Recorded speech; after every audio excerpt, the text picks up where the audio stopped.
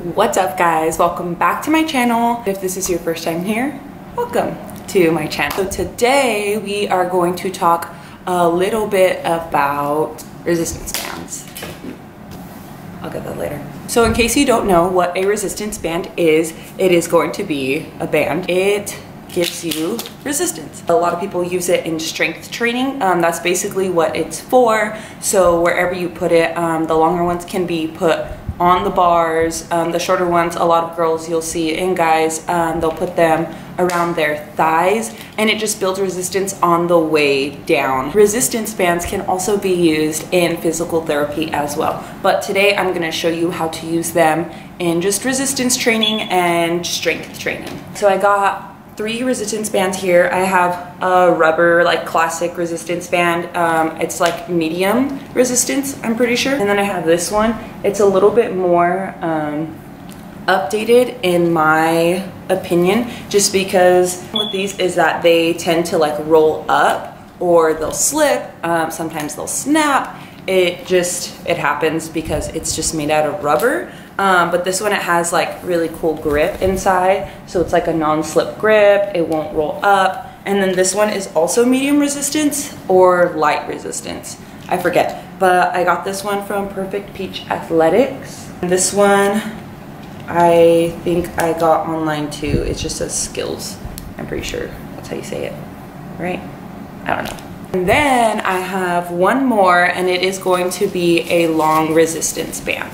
So it looks it looks something like this. And this is by Power Guidance. So today I'll be showing you um, five different types of exercises that you can do with each one of those resistance bands. And I will be targeting the legs and glutes. So first actually we'll start with this big, this big guy. All right, so first we are starting with kickbacks um, with the longer resistance band.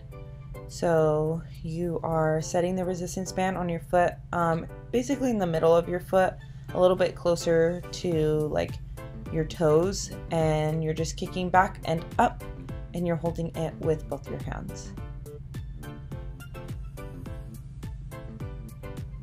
And this helps your glutes.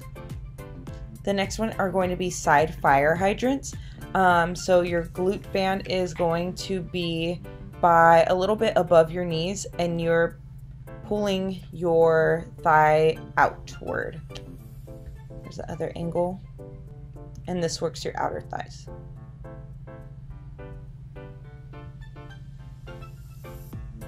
All right, the next one is going to be a hip thrust into a hip abductor at the top. So what you're gonna do is put it above your knees a little bit you're gonna push up with your hips, and then when you get to the top, you're gonna squeeze and pull your thighs away from your body. This is going to work your glutes and your outer thighs, and make sure your back is straight, keeping your chin down, breathing properly. The next one is going to be a jump squat. Um, I like doing these with a resistance band just because you really feel the burn um, on your outer thighs a lot. The final move is going to be a side step. Um, I usually do this when I'm warming up for legs and um, the resistance band will be midway thigh and knee. And then if you're a little bit more advanced, um, you can definitely do what I'm going to show you next. And it's basically just going to be the same thing, um, except instead you are doing a jump squat at the end. But those ones I use for burnout because those ones at the end, uh, they'll definitely get you.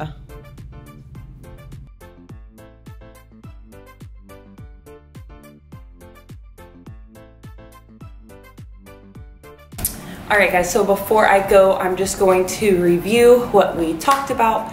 Um, so I use three types of resistance bands. I have the rubber one, which is like the classic resistance band. Um, like I said in my video, I had to switch this out though for this one, just because it's a little bit more nice. Um, the material is cloth and then the inside is like grippy. so it doesn't roll up like this one did in my video. Um, and it's just overall better. And then also we have the long one, which I use for kickbacks. You can also use these for a bunch of upper body ones too and for stretching. So let me know if you wanna see that um, anytime soon in the comments, um, on Instagram, anything like that, let me know. And then a couple things you should look into when buying resistance bands. Of course, like I said, do you prefer the rubber or do you prefer the cloth? They usually come in three different types of strength. So they'll have um, the light resistance, the medium resistance, and then the heavy resistance. So whatever you feel comfortable with, um, you shouldn't be getting something that you know, one is too much for you, or two, you know you can do more.